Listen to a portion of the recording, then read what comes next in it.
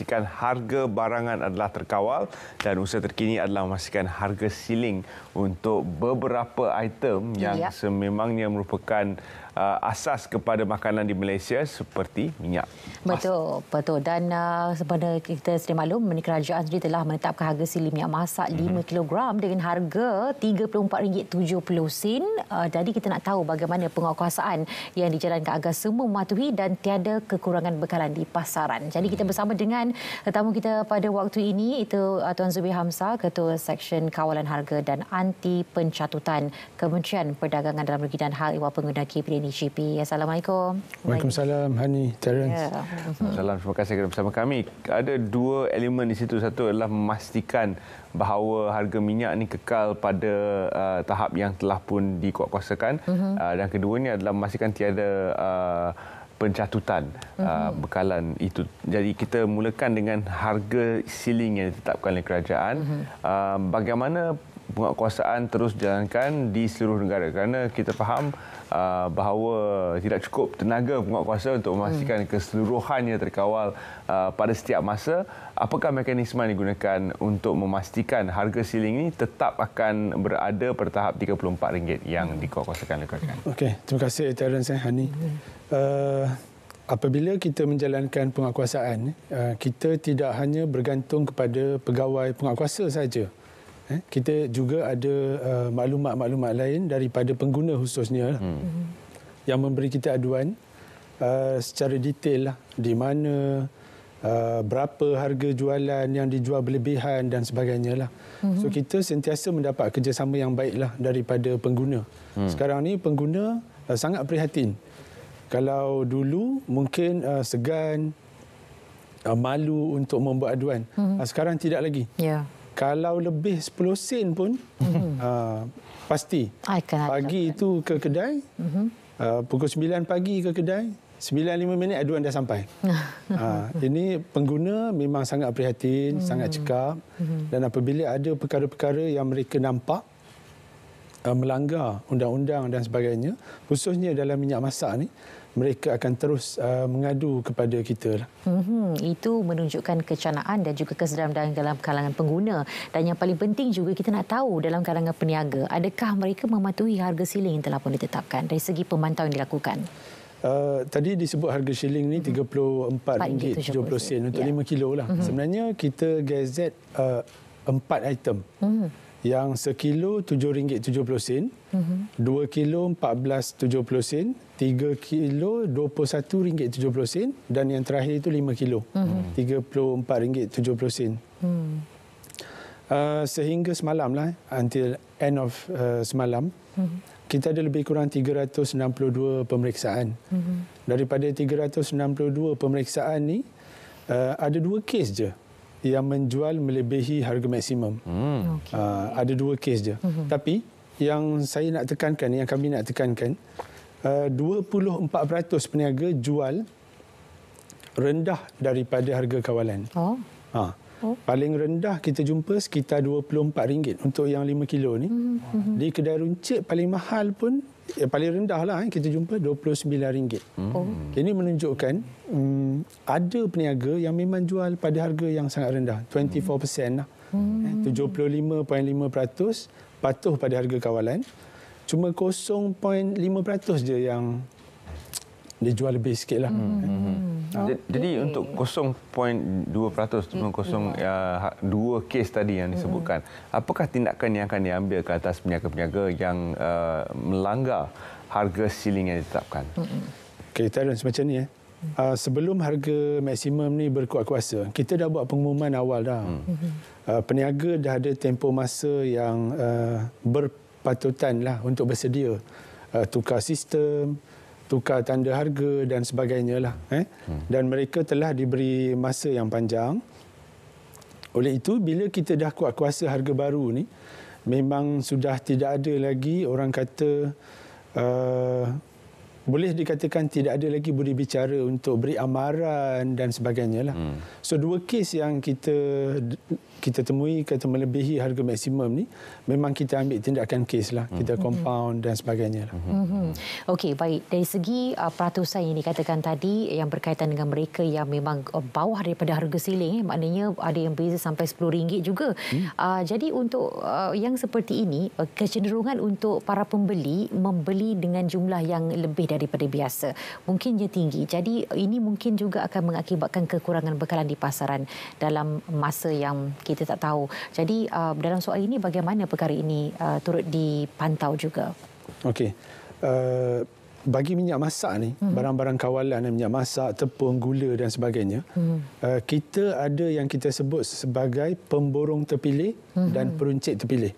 Baik. Pemborong terpilih ni di dalam satu daerah kita akan lantik beberapa orang pemborong mm-hmm. supaya dia sentiasa ada bekalan barang-barang kawalan ni. Mm-hmm. Uh, dalam kes ni minyak masak lah. Mm-hmm.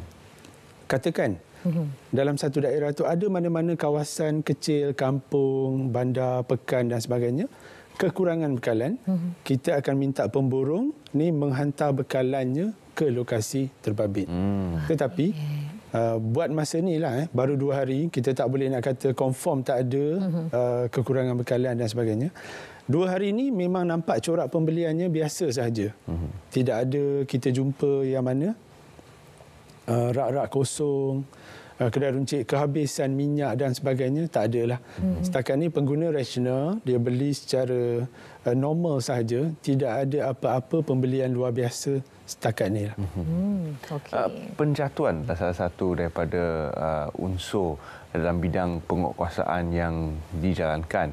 Uh, bagaimanakah usaha-usaha untuk uh, mengelakkan situasi ini berlaku terutama sekali pada empat uh, uh, jenis uh, harga kawalan yang disebutkan tadi minyak masak?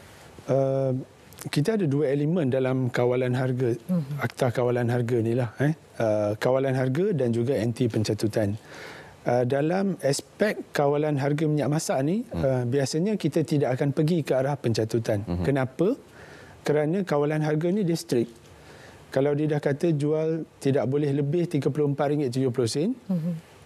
you dah tak boleh jual lebih dah. Artinya kalau you jual RM34.80 pun sudah menjadi satu kesalahan. Hmm. Dia macam strict liability lah. Hmm. Harga tu kurang boleh, hmm. uh, lebih tak boleh. Hmm. Hmm. Okey, baik. Dan uh, bagi aspek penetapan harga siling secara bulanan, eh, adakah ini merupakan satu perkara yang um, amat mencabar juga bagi pihak KPDNCP hmm. dalam mengawal pergerakan um, bagi para peniaga lah khususnya? Kena. Hmm. Kalau boleh uh, penetapan harga maksimum lah. Uh-huh. Penentuan harga maksimum ni kita buat menerusi harga purata CPO. Mhm. Harga purata CPO kita yeah. jadikan asas uh-huh. untuk menentukan harga kawalan minyak masak lah. CPO lah kena palm oil. Uh-huh. Ya, uh-huh. palm oil. Okey. Uh-huh uh, apabila kita hendak membuat uh, penetapan harga itu memang kita akan ambil sejarahnya lah eh, lebih kurang sebulan mm-hmm. harga purata dan sebagainya lah baru kita akan buat uh, penetapan harga mm-hmm. dan sebelum penetapan harga yang baru lah eh. sekarang ni dia berkuat kuasa lebih kurang sampai 7 September mm-hmm. dan sebelum uh, berkuat kuasa harga yang baru kelak mm-hmm. sekiranya disambung kita akan buat pengumuman uh, ke, yang paling penting untuk kami adalah pengumuman harga uh, harga yang telah akan digazetkan ni mm-hmm. dia ada tempoh masa yang sesuai lah untuk peniaga uh, bersedia dan patuhi. Hmm. Eh, kita takkanlah uh, kita nak buat malam ni pukul 11 malam umum uh, 12 satu ya. minit dah kuat kuasa hmm. uh, peniaga akan menghadapi masalah. Hmm. So ample time tu kita akan beri hmm. supaya mereka boleh patuh tanpa sebarang masalah. Yang ni hmm. adalah perkara yang penting lah. Hmm. Hmm. Jadi untuk para peniaga pula tentang uh, kefahaman dan kebersediaan mereka untuk uh, menyahut usaha ini. Hmm. Sebab kita ada banyak uh, jenis peniaga dalam sistem ini. Ada yang uh, uh bertindak sebagai pemborong, orang, orang tengah ya. dan seterusnya peruncit. Hmm. Jadi adakah rantaian uh, bekalan minyak masak ini kesemuanya faham tentang hmm. keperluan untuk uh, mengurus kos supaya harga uh, yang sampai kepada pengguna itu adalah harga siling? Hmm. Uh, bila kita tetapkan harga ni, kita buat penetapan harga ni di peringkat runcit eh? dan harga ni perlu disesuaikan oleh pemborong dan juga pekilang lah supaya kos-kos bila disalurkan harga tu uh, sampai kepada peruncit dia boleh jual pada margin yang uh, selesa. Yeah. Uh, kita sebut selesa lah. Kalau ikut peniaga mungkin dia mahu uh, margin yang paling besar. Hmm. Kalau ikut pengguna dia mahu margin tu paling kecil. Yeah. Uh, supaya dia dapat pada harga yang murah. Kita sebut Uh, berpatutan dan selesa. Berpatutan kepada pengguna, mm-hmm. selesa kepada peniaga. Mm. Supaya tidak ada mana-mana pihak yang teraniaya dan bekalan tu uh, sentiasa akan ada di pasaran. Mm-hmm. Okey, baik daripada penerangan yang tuan kongsikan dari awal tadi ya melihat kepada keberkesanan dari segi sistem itu sendiri yang memastikan bahawa semua patuh dan seperti ini sebutlah maknanya selesa dan berpatutan dalam kalangan pengguna. Uh, tetapi dalam masa yang sama cabaran-cabaran yang uh, dilalui dalam memastikan uh, semuanya berjalan lancar sebab tadi disebut 362 setakat semalam dua sahaja yang culas maknanya yang tidak mengikut harga harga siling. Maknanya menunjukkan suksesnya uh, apa yang telah dilakukan selama hari ini. Jadi cabarannya bagaimana? Kita nak tahu juga ada tidak cabaran yang tinggi yang sering dihadapi setiap bulan ataupun setiap minggu atau setiap hari pastinya. Hmm. Uh, bila kita buat penguasaan harga minyak ni, hmm. uh, salah satu cabarannya adalah uh, dia punya taburan uh, hmm. perniagaan lah hmm. di bandar dan di luar bandar. Betul. Ah. Dia akan merangkumi kawasan-kawasan yang termasuk pedalaman lah, hmm. yang jauh lah. Hmm. Yang ini satu cabaran untuk kita cover semua sekali hmm. dengan jumlah lebih kurang 2,200 penguatkuasa lah. Hmm. Ini di sinilah yang mana pengguna akan mainkan peranan hmm. yang sangat besar hmm. dalam memberikan maklumat. Hmm. Yang kedua, apabila kita pergi ni, Uh, salah satu faktor yang saya selalu nampak lah bila hmm. kita di lapangan. Hmm. Uh, dia ni daripada jauh dia nampak pun kuasa sampai je uh, macam-macam berubah lah. uh, daripada tak ada tanda harga jadi ada kan. Uh, daripada harga ni uh, dia ambil harga lain dan sebagainya. Hmm. Macam-macam jadilah. So salah satu uh, pendekatan yang kita lakukan kita panggil op sama. Hmm. Op sama ni saya akan pergi pakai baju biasa. Pakai baju biasa kan.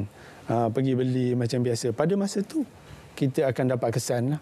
Yeah. Uh, betul ke tak betul hmm. kalau kita pakai uniform macam ni hmm. uh, mungkin 2 km orang tahulah eh ada nak datang dah tu hmm. tapi bila kita pakai baju biasa uh, ini adalah pendekatan yang setakat ni sangat berjaya lah hmm. kita berjaya hmm.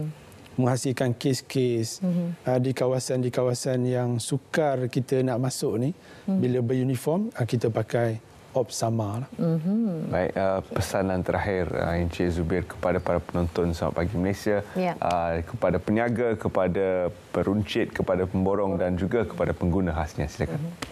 Uh, kepada peniaga lah khususnya. uh, minyak masak ni harga dia berubah-ubah dan sebagainya kan. So kita memang menjalankan pemeriksaan setiap hari. Mm-hmm. Uh, cuti ke, tak cuti ke, penguatkuasa sentiasa di lapangan. Yeah. dan uh, menjadi satu kesalahan lah. Kalau you cuba sorok uh, sembunyi enggan jual kan? Hmm. ada di store tapi tak nak jual.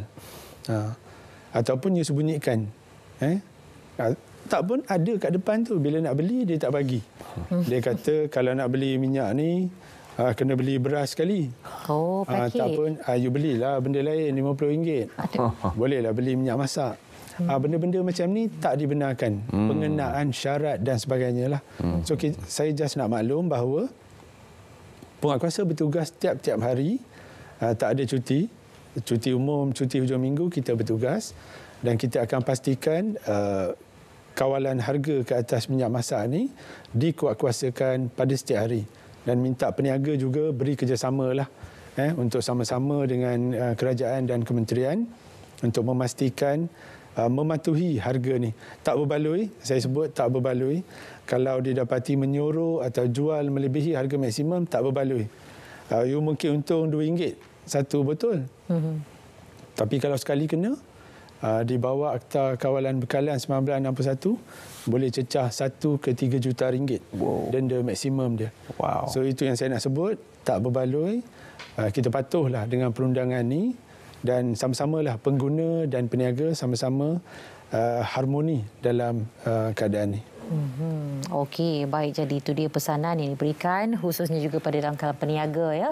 Dan sebagai seorang pengguna, kita perlu bijak dan masa yang sama jangan lupa untuk lakukan tanggungjawab anda untuk melaporkan uh, sekiranya ada nampak ada harga yang tak berapa nak sesuai lah dan hmm. tepat seperti mana harga siling telah pun ditetapkan. Kalau harga murah tak perlu lapor. Ah, tak perlu lapor. Ah, lapor di media sosial. Lapor di media sosial supaya lebih ramai boleh datang ke kedai ya. itu. Terima kasih kita ucapkan kerana bersama kami dalam